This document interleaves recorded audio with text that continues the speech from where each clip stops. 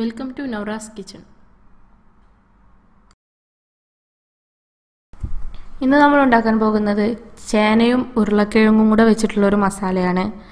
ഇത് ഒരു ബീഫ് മസാലയുടെ ഒരു രൂപത്തിലാണ് ഉണ്ടാക്കുന്നത്. വെജിറ്റേറിയന് ബീഫ് ഇഷ്ടമില്ലാത്ത ആളുകൾക്ക് അതിലെ മസാല വെച്ചിട്ട് നമുക്ക് ബീഫ് കഴിക്കുന്ന ആ ഒരു ടേസ്റ്റിൽ വെജിറ്റബിൾ കൊണ്ട് തയ്യാറാക്കിയെടുക്കുക. അതാണ്. അപ്പോൾ ഇത് വെജിറ്റേറിയനൊക്കെ വളരെയധികം ഇഷ്ടപ്പെടുന്ന ഒന്നാണ്. ചേനയും ഉരുളക്കിഴങ്ങും ചേർത്തിട്ടുള്ള ഈ മസാല. അപ്പോൾ എങ്ങനെയാണ് നമ്മളിത് ഉണ്ടാക്കുന്നത് നോക്കാം. ഇത് ഞാൻ കുക്കറിലാണ് തയ്യാറാക്കി എടുക്കുന്നത് അതിനുവേണ്ടി ഞാൻ ഇവിടെ ഒരു സ്റ്റീലിന്റെ കുക്കർ എടുത്തിട്ടുണ്ട്. ഏത് ടൈപ്പിലുള്ള കുക്കർ യൂസ് ചെയ്യാം. അതിലേക്ക് ഞാൻ പാകത്തിനുള്ള വെളിച്ചെണ്ണ ചേർത്തിട്ടുണ്ട്. വെളിച്ചെണ്ണ നന്നായി ചൂടായി വരുന്ന സമയത്ത് നമ്മൾ സാധാരണ ചേർക്കുന്ന പോലെ തന്നെ കുറച്ച് വലിയ ജീരകം ചേർത്തിട്ടുണ്ട്. ആ വലിയ ജീരകം നന്നായിട്ട് അതിൽ കിടന്ന് ചൂടാവുമ്പോൾ നമ്മളിതിലേക്ക് വലിയ ഉള്ളിയാണ് ചേർത്ത് കൊടുക്കുന്നത്. ഈ വലിയ ഉള്ളി ഞാൻ ഒരു വലിയ സവാള. നല്ല വലിപ്പത്തിലുള്ള ഒരു സവാള ഇതുപോലെ കട്ട് ചെയ്തെടുത്തതാണ്. ഇത് ചേർത്ത് കൊടുത്തിട്ട് നമുക്ക് സവാള നന്നായി ഇളക്കിയെടുക്കുക. അപ്പോൾ നമ്മളിത് ഉണ്ടാക്കുന്നത് മൊത്തം ഈ കുക്കറിൽ തന്നെയാണ്. അപ്പോൾ ഉള്ളിയും മറ്റ് മസാലകളൊക്കെ ഇതിലേക്ക് ചേർത്തിട്ട് എല്ലാം ചേർത്തിട്ടാണ് നമ്മളിത് ഉണ്ടാക്കിയെടുക്കുന്നത്. അപ്പോൾ ഇപ്പോൾ നമ്മുടെ മസാല ഉള്ളി ഇങ്ങനെ ഏകദേശം ഒരു വഴന്ന രൂപത്തിലായി വന്നിട്ടുണ്ട്. അപ്പോൾ ഉള്ളി നന്നായി വഴന്ന് വരുമ്പോൾ നമ്മൾ ഇനി ഇതിലേക്ക് ചേർത്ത് കൊടുക്കാൻ പോകുന്നത് പച്ചമുളകാണ്. പച്ചമുളക് ഞാനിവിടെ ഒരു രണ്ട് പച്ചമുളക് രണ്ട് രണ്ടര പച്ചമുളക് എടുത്തിട്ടുണ്ട്. എരിവനുസരിച്ച് നമ്മൾ കൂട്ടും കുറക്കും ചെയ്യാം. ഞാൻ യൂസ് ചെയ്തിട്ടുള്ള പച്ചമുളക് നല്ല എരിവുള്ളതാണ്. അതുപോലെ തന്നെ ഞാൻ കുറച്ച് കറിവേപ്പില കൂടെ ആഡ് ചെയ്തിട്ടുണ്ട്. ഇതുകൂടി ചേർത്തിട്ട് നമുക്ക് നന്നായിട്ടൊന്ന് ഈ മിക്സ് ഇളക്കിയെടുക്കണം. ആ ഒരു പച്ചമുളകൊക്കെ അതിലേക്ക് അതിന്റെ ആ ഒരു പച്ചമുളകൊക്കെ പോയി വരുന്ന ആ ഒരു സമയം വരെ.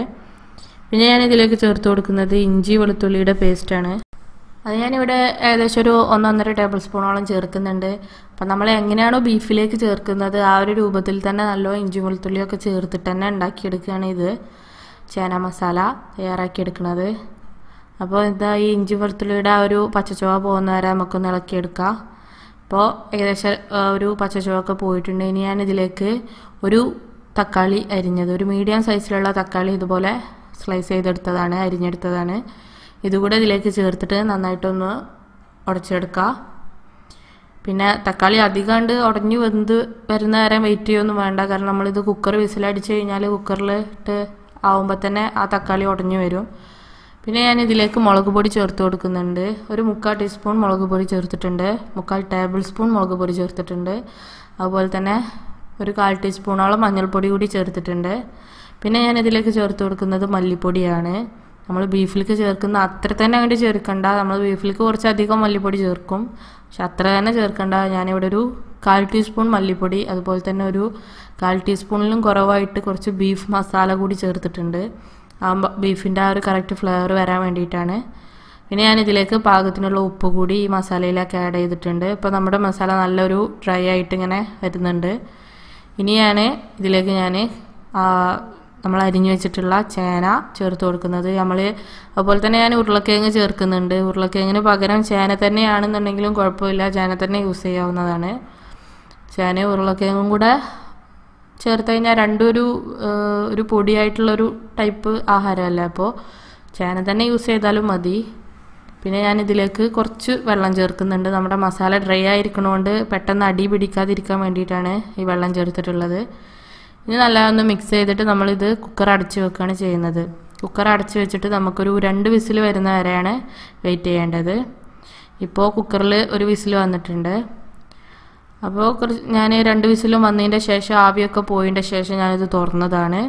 തുറന്നപ്പോൾ നമ്മൾ ചേനയ്ക്ക് എത്രയാണോ എങ്ങനെയാണോ വേവ് അതനുസരിച്ച് നമ്മൾ വേവിച്ചെടുക്കുക. ചില ചേനകൾ ഉണ്ടാവും നല്ലോണം വെന്ത് വരേണ്ടി വരും. ഇതിപ്പോൾ രണ്ട് വിസിലിന് തന്നെ ചേന നന്നായി വെന്ത് കിട്ടിയിട്ടുണ്ട്. ഇപ്പോൾ കണ്ടല്ലോ ഇതൊരു കുഴമ്പ് രൂപത്തിലായിട്ട് വന്നിട്ടുണ്ട്. ഒരു മസാല ടൈപ്പ് ഇപ്പോൾ നല്ല ടേസ്റ്റ് ആയിരിക്കും. കാരണം ആ ബീഫിന്റെ ആ ഒരു ഫ്ലേവർ തന്നെ നമുക്കിത് കിട്ടുന്നുണ്ട്. ബീഫ് ഇല്ലെങ്കിൽ പോലും ആ ഒരു ടേസ്റ്റിൽ കിട്ടും. ഏറ്റവും അവസാനമായിട്ട് പിന്നെ ഞാൻ കുറച്ച് ഗരം മസാല ആഡ് ചെയ്തിട്ടുണ്ട്. ഗരം മസാല കൂടി ചേർത്തിട്ട് നമുക്ക് നന്നായിട്ടൊന്ന് ഇളക്കുക ഈ ടൈമിൽ ഫ്ലെയിം ഒന്ന് ചെറുതായിട്ടൊന്ന് ഓണാക്കി കൊടുക്കുക ഹൈ ഫ്ലെയിമിൽ ഇടരുത്. ചെറിയൊരു ഫ്ലെയിമിൽ ഇടുക പിന്നെ ഞാൻ ഇതിലേക്ക് ഏറ്റവും അവസാനം കുറച്ച് മല്ലിയില നമ്മൾ ബീഫിലാണെങ്കിലൊക്കെ ചേർക്കുന്നതാണ്. മല്ലിയിലയുടെ ഒരു ഫ്ലേവർ ഏതിൽക്കും നല്ല ടേസ്റ്റ് ആയിരിക്കും. അപ്പോൾ ഈ ഒരു രൂപത്തിലാണ് ഞാൻ ചേന മസാല റെഡിയാക്കി എടുത്തിട്ടുള്ളത്. അപ്പോൾ എല്ലാവർക്കും ഇത് ഇഷ്ടപ്പെടും. ബീഫ് കഴിക്കാൻ ഇഷ്ടമില്ലാത്തവർക്ക് ഇങ്ങനെ ഒന്ന് മസാല ഉണ്ടാക്കിയിട്ട് കഴിച്ചു കഴിഞ്ഞാൽ എല്ലാവർക്കും ഈ ഈ ഒരു ചേനയുടെ ഈ ഒരു മസാല ഇഷ്ടപ്പെടും. വെജിറ്റേറിയൻ ആയിട്ടുള്ള എല്ലാവർക്കും ഇത് വളരെയധികം ഇഷ്ടപ്പെടുന്ന ഒരു ഡിഷാണ് അപ്പോൾ നിങ്ങൾക്ക് എല്ലാവർക്കും ഇത് ഇഷ്ടപ്പെട്ടെന്നുണ്ടെങ്കിൽ നിങ്ങൾ ട്രൈ ചെയ്ത് നോക്കുക. അതുപോലെ തന്നെ ലൈക്ക് ചെയ്യുക കമന്റ് ചെയ്യുക. സബ്സ്ക്രൈബ് ചെയ്യുക കൂടെ ബെല്ലൈക്കൺ കൂടി ക്ലിക്ക് ചെയ്യുക. ഇത് നമ്മൾ ചോറിനൊക്കെ വളരെയധികം ടേസ്റ്റി ആയിട്ട് ഒരു സൈഡ് ഡിഷായിട്ട് കഴിക്കാവുന്ന പറ്റിയ ഒരു ആഹാരമാണിത്. Thank you for watching